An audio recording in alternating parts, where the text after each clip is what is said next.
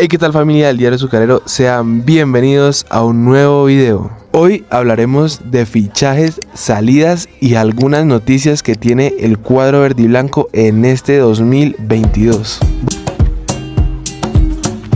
Deportivo Cali inicia su pretemporada cara a la Liga 2022-1, la Copa Betplay y la Copa Libertadores ya inició sus entrenamientos cara a todo lo que se le viene. En la fecha 1 de la Liga Betplay 2022-1, el Deportivo Cali visitará a Jaguares de Córdoba y en la fecha 2 recibirá a Deportes Tolima en el Estadio Deportivo Cali. Esta es toda la programación de la Liga 2022-1. Bueno señores, y empezamos con Aldair Yesid Gutiérrez, el lateral derecho procedente de Pereira se convierte en el primer fichaje del Deportivo Cali. El lateral firmará por un año con opción de compra y será el reemplazante de Juan Camilo Angulo.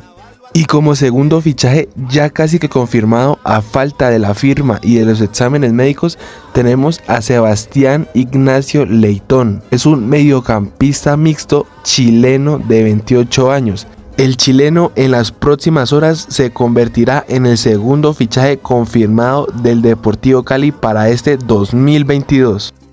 Y ahora pasemos con Ángelo Rodríguez. El sanandresano ya renovó su vinculación con el Deportivo Cali hasta diciembre del 2023. Una excelente noticia para el Deportivo Cali ya que fue determinante en el equipo de Rafael Dudamel. Una buena noticia para el verde en este 2022. Bueno y ahora pasamos con los jugadores que se van del Deportivo Cali. Como lo dijimos en el anterior video, John Vázquez no va más con el Deportivo Cali tiene una oferta de Arabia Saudita y de México. El jugador y su representante ajustan todos los detalles para su salida del Deportivo Cali. Bueno, seguimos con el tema Jorge Arias. Se daba por hecho su llegada al Junior, pero según nos informan en el camerino el periodista Pipe Sierra y Alexis Rodríguez, Jorge Arias tendrá que presentarse en las próximas horas al club paraguayo para iniciar su pretemporada. Y ahora hablemos del tema Michael Ortega. El jugador está cerca del fútbol peruano pero todas las negociaciones se cayeron. El jugador tenía que viajar y no lo hizo. Por ahora, a pedido del técnico Dudamel, se le reanudó el contrato y están en negociaciones. Bueno, y hemos llegado al final del video. Me despido no sin antes darle las gracias y pedirles que si te ha gustado el video le des like, suscríbete y comparte.